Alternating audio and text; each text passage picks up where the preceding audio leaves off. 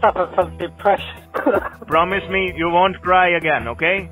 There seems some pretty horrible things going on. You promised me this isn't a, a, a scam, right? It's everywhere. I mean, and it's growing. Why would you scam People people like like me, John. Oh, you got quiet now, John. What's up with that?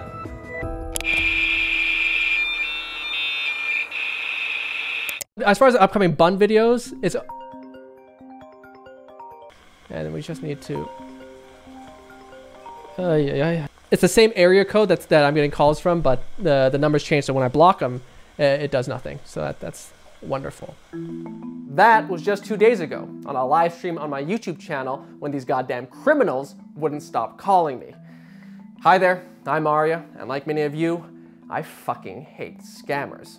Now, I mean that with all sincerity because while I know these are scams, so I just ignore them and they're just mainly a nuisance, I do have an elderly relative who was scammed out of thousands of euros earlier this year. So that, coupled with the most recent incident on my YouTube live stream, it got me thinking, what if instead of ignoring these calls, I did something about it? Not like kill them or anything, just, you know, have a chat. To assist me, I turned to legendary YouTuber Jim Browning, who has produced countless videos in which he engages with and confronts scammers during the act of what is referred to as scam baiting. I don't want to answer these questions, sir. You have wasted much of my time. I just want to know why you're scamming people. People keep saying, oh, is it not some sort of Batman type story where your parents robbed? It's nothing like that at all. Uh, I'm just generally interested in scams. I can usually see what happens on scammers' computers. I've actually been able to switch on the scammer's own webcam. Even at the moment, I can actually see a number of scamming groups running as we speak. Oh, you have a, you have a monitor open? I do. I have three monitors actually, and at times I can intervene. I hate to break this to you, but this whole thing is a scam. What, what do I do now? I mean, it's funny you said you're not like a Batman type, but there you are in your Bat cave with your monitors up. So, sometimes it is like that. Because Jim gains such covert access to these scammers, while he not only obtains insight into their operations, he also gets a first-hand look into the horrific depths to which these scammers are willing to go to steal money. Sir, there would be a charge of twelve ninety five, okay? Bloody hell. I have a heart attack. Hey, why are you crying, man? I suffer from depression. No, no, no, sir. Everything will be okay. Don't worry, okay? Yeah. Now, promise me you won't cry again, okay? There's one woman, she had MS, multiple sclerosis. I have MS and I'm just I'm a nervous wreck and I I can't understand a lot. I, I'm a diabetic and I'm legally blind. Despite her telling this to the scammer, he was still quite prepared to continue with the scam and still rob every penny that she had. Whoever's on the end of the phone is just a source of money from them, and it doesn't matter whether a child or an older disabled person As most scam baiters can't go to the lengths Jim does, he does explain to me the other ways in which I can contribute to the fight against scammers. There's scam baiters like Boga or Scammer Payback, the legit voice changers. I can tell you're handsome. Yeah, I am a little handsome. You know, just wind them up very slowly. It's purely for a bit of fun, of course. If you sound convincing or if you sound vulnerable, you can keep them engaged as long as possible. If people can just keep these scammers on the phone for as long as humanly possible, it does have an impact. So I feel like the plan here is fairly straightforward, right? Instead of just calling them up on my phone, trying to yell at them, trying to tell them to stop, and most likely getting hung up on, we can dive in, like our good friend Jim Browning and other scam baiters, by trying to waste their time and learn a little bit more about these sneaky shenanigans they're trying to pull. Because even if we do get hung up on, at least we'll have a little bit more insight into how they operate. But how do we pull this off? If I'm a scammer and I uh, and I say, you know, hey, welcome to Amazon, this is support, and you hear, Well, yeah, honey. Um, I got a call from this number, and there's some kind of fraudulent activity. if I'm a scammer and I hear that, I'm really excited. To coach me in the art of scam baiting, I enlist the help of another popular scam baiter, Pierogi of Scammer Payback. Number one is try to stay as anonymous as possible. And that includes never letting them on a real computer. Since some scammers will often remotely connect to your computer to run their scam, the primary tool I have to set up is what's known as a virtual machine. Virtual machines are great. It's a way essentially of creating kind of a virtual sandbox for scammers to play in where they think it's real so that if they did something to your computer, you just kind of restart it and it's good. Going online, I also find further help through the wider scam baiting community, who assist me in getting my virtual machine set up and also point me towards different scam baiting resources such as fake phone numbers, voice changers, and even a bank called Northwatch, which I can safely allow scammers to snoop around in once they've connected to my virtual machine, and where I can even shoot a Rickroll to their computer screens if I wanted. All right, it took me a few days to get everything set up, but the day is here. It is time for us to meet some of these criminals. Okay, so I built out my virtual machine and I've made it look, I believe, like a real person's computer. I built out a character named Jess, and based on Jim and Pierogi's advice, I wanted this character to seem as vulnerable and as least tech savvy as I could. Jess is an aspiring actress, model, influencer, YouTuber who's moved to Hollywood to chase her dreams and is unfortunately now going to be scammed out of her rent money by some criminals. This is her computer. I went on our stock image website and I pulled some royalty free, inspiring background wallpaper because, of course, Jess is a star and she needs to remind herself of that. I've bookmarked Jess some important websites like how to be famous on YouTube, tips, tricks, and a full step by step guide. You know she'll be using that. Jess also did her first LA photo shoot with a creepy photographer she met off of Instagram, but she loved the photos, so she's got it right on her desktop there, my photo shoot. Look at these photos. She's so proud of them. Again, these are just royalty free photos I found on our stock image website of some random blonde woman. There's Jess. She's happy there. She's posing. Here's Jess with a dinghy. Oh, and here's Jess hiding behind two palm fronds. As you do. I've also built out Jess's browser history. Of course, our homepage site is BuzzFeed. Jess has also bookmarked her favorite non-problematic YouTubers like James Charles, Shane Dawson, Aria from BuzzFeed. But amongst all these fake sites, we do have banking here. When I click banking though, it reroutes us to Northwatch Bank, that fake bank, to let scammers tap into. This site is great because it gives like fake transactions and everything. You know, Jess, you know, she's loving her Netflix. She's living that unemployed actress life. Jess also apparently loves spending money on, you know, Mr. Beast merch. So this is it. I think I think we're pretty set here. So I think the realistic goal for me on my first scam bait is to waste the scammer's time by keeping them on the line for maybe 30 minutes before doing the reveal. All right, let's dive on in. Quickly, as a heads up, unfortunately, we can't air the actual voices of any scamming criminals here on the Unsolved Network. However, if you do want to hear the actual raw, unedited audio of our conversation, I'll upload a copy of it on my personal YouTube channel, which we'll link in the description below, because it's like the Wild West over there. I mean, I'll upload all kinds of nonsense on that channel. Plus, to celebrate our first ever Bun Scam Bait, I'll plan on doing a live stream scam baiting session for all of you on that channel next week, so subscribe over there and uh, join the Bun community and I in uh, confronting some scammers live. Either way, here's what happened when I finally got to confront an online scammer. Oh, and I should probably mention that in order to voice over these scamming criminals, I may have hired a celebrity impersonator off the internet.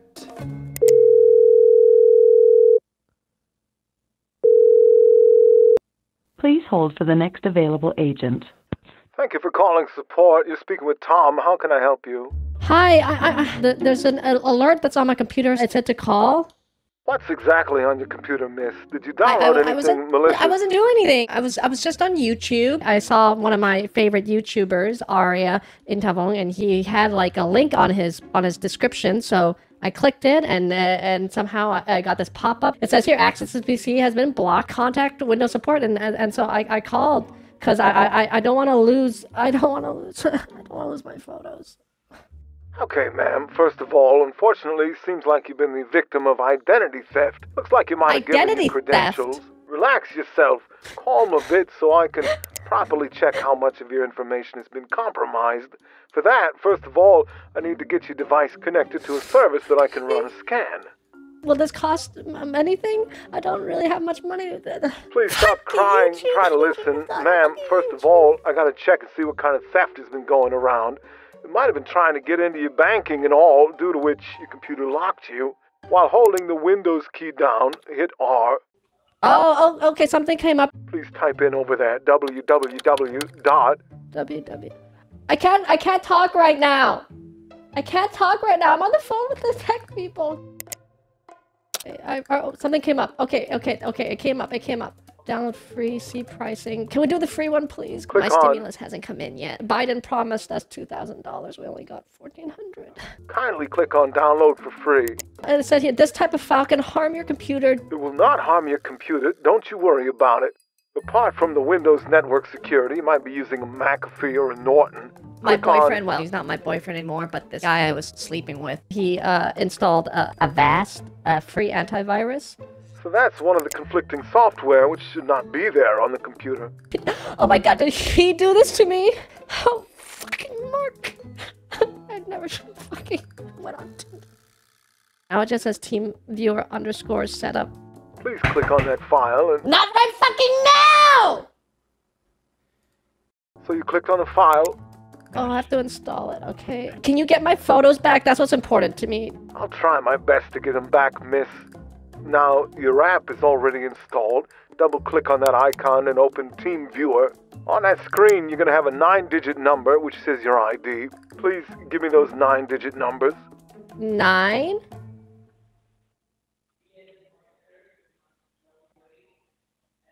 Okay. And you'll also be getting a password underneath. Please help me with the password. Is it safe to give it uh, over the phone? It makes sure you're getting connected to a right person.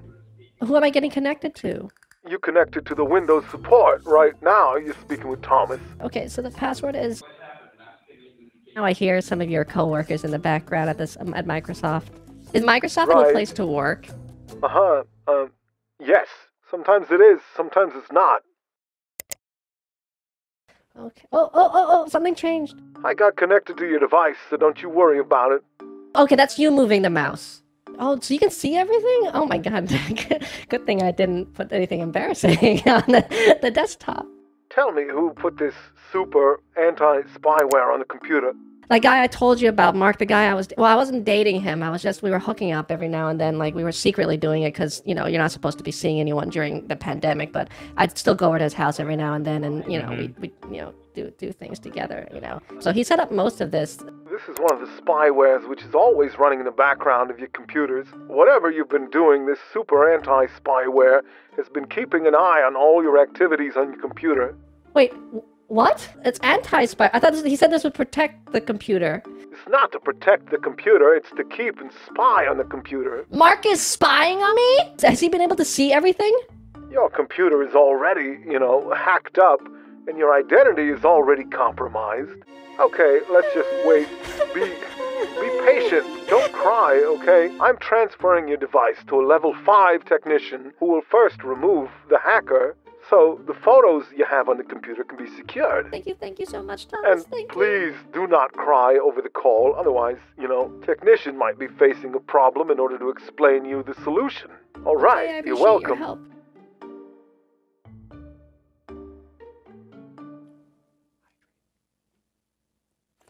Thank you so much for being on hold. This is me, John Wilson. I'm the senior technician on the floor. How may I help you today, ma'am? I was just talking with Thomas, and he said that you'd be able to help me, like, save my photos and stuff like that. Can you please show me your photos? What photos do you want to be freshly secured? I took this photo shoot with this really cool photographer on Instagram, um, and these are just these are some of the ones I took. This is your personal pic, correct? Yeah. Okay, this is your photos, but it's not your computer, right? Okay, so this guy Mark, who I was sleeping with, You're sleeping with a guy named Mark, correct? yes. Well, I'm an actress, and so I should I want to put some acting stuff. Yeah, these are my photos. Yeah, I, I'm really happy with how they turned out. You- that, that's one of my favorite. I like the one with. Uh, I like the next one. Yeah, that's a fun one. that's why I want to save these photos. I will make your photos safe and secure. Don't worry. Which of these photos do you think are the best if I had to pick three to post? I could suggest to you, like, you can put this photo, okay? This one, then I could say this one. Have you shoot any videos? I, I I haven't shot any videos yet. I was going to. Oh, that's one of my favorite videos. It's a good video. Fighting an MMA fight in three months is completely Is crazy. this? Aria's just so sweet. Like I couldn't. This is just a BuzzFeed video. I'm a big fan of BuzzFeed. Right now, what I can see over here, like they're using your computer, your identity, for any kind of illegal purpose and for promoting child pornography as well. Pornography? Oh my god. Yes, ma'am. Should I call the police? No, you should not. Uh, you should not call the police. We'll surely go ahead and help you in each and every case. Firstly, we have to go ahead and put all these securities in your computer. I want you to go ahead and check your banking first. Do you think Mark was able to see my bank before you came? I believe he can, oh okay? but you do not need to worry. You're not supposed to cry over the call. You're not supposed to cry over the call, alright, Jessica? If you will cry, so we will delay this process, okay? Do you have a Target store near to you? Do you yeah, have a there's a Target, Target. store? There's a Target here. Whatever amount you're going to invest in the security, that amount will be refunded back to you in your bank account. So I'm gonna pay uh, now, but then you're gonna refund it. Uh, Yes. For sure, it'll happen because I really I, I I moved to LA like uh like last year, and I've been I mean I've lost all my money because it's so crazy here in LA. Do not need to worry, okay? You will take my words. Do not need to worry. All the amounts are refundable amounts. You have to use this debit card, okay? Once you reach to the target in the parking lot, let me know, and I will let you know what security card you need to get. You have to be on call with me while you are going to that Target store. You have to be quick, Jessica, okay? Rachel, I'm gonna be right back. Hi. Yeah.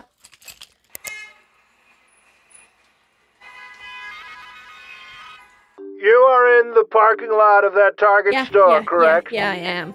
Oh my Okay, god! Sorry, sorry, your- sorry, sorry, sorry, sorry, sorry.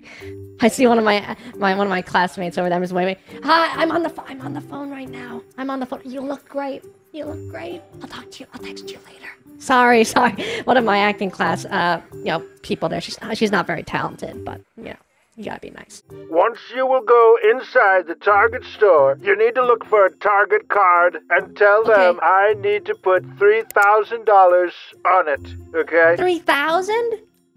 You promise I'll get it refunded, right? My mom's sick right now, and so I try to send money whenever I can, so I can't lose too much. Yes, yes, Jessica. You'll get the refund, $3,000 back within three minutes. If these store people will ask you, like, for what purpose you're getting these cards, just tell them I'm taking it for my personal purpose. Okay. Don't tell them you're not for the securities. If you tell them, they'll add sales tax rate on it, okay? Put your phone in the pocket. Don't talk to me in the Target store.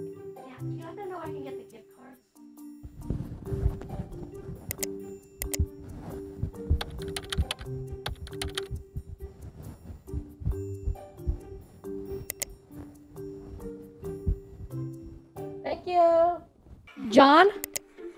Yes, Jessica? Hi, John. I got it. I got it. Okay. I just need the billing receipt number. Let me run back to mine first, because uh, I don't like being outside right now because of COVID. I'll be right with you. Don't go to the apartment. Don't go to the apartment. Just stay in the parking lot in the Target store, okay? But but what about COVID? You have to tell me the everything over here so that we can work immediately. Oh my god. Okay, okay, okay, okay. But I, I, I we haven't paid for anything yet, have we? Okay, like in order to process each and everything, we just require that, okay? I trust you, John, but I, I'm just, you know, I just the money is it's a lot of money. I said do not need to worry for anything, Jessica, all right? Well, that's what that's what Mark said to me. He said I could trust him. Look what Mark did to me, John. Yes, that is something critical, okay, what exactly he did. Well, it's horrible. He should be in jail. Yeah, we'll definitely put him in jail, okay? You're I know you're with Microsoft, John, so I trust you. You're not some fuckboy from LA. but Absolutely it is, Jessica, all right? You're not a fuckboy, right? Are you a fuckboy, John? You're not. Absolutely not. Okay, just let me know the billing numbers and let me know the card number, which is at the back of that Target card.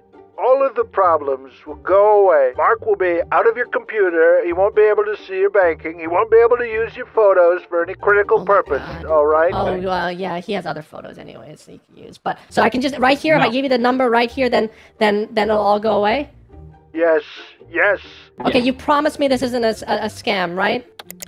Absolutely, it is not, Jessica. Absolutely, it is not, okay? Okay, I just I just think it's weird. Why would you do something like this to me? Why would you scam people like me, John. How do you get off on this? You jackass. Oh, you got quiet now, John. What's up with that? Hello, Jessica. We just we just take all of your money from your account, Jessica. You, you can't do that. You can't do that. We'll do that, Jessica. You're you're threatening to do that to me? Yes, Jessica. You don't have the power to do that. You don't run the banks. We run the bank, Jessica, and I can fuck you very hard. You're gonna fuck me hard? You don't know who you're messing with. I'm Jess O'Neill, okay? I'm gonna win an Oscar someday and you're gonna fuck me? You can't do anything. Let's give him one more call back. John? No longer in service.